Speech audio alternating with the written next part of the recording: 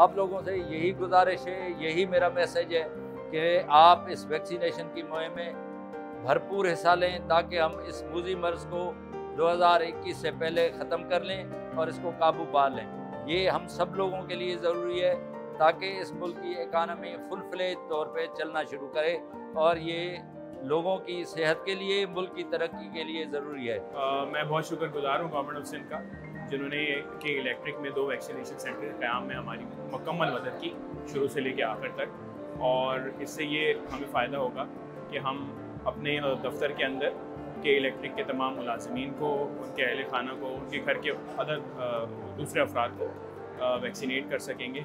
और हुकूमत सिंध, हुकूमत पाकिस्तान की इस काविश का साथ दे सकेंगे कि हम इस वबा का खात्मा जल्द से जल्द मुमकिन बनाएँ। बहुत शुक्रिया।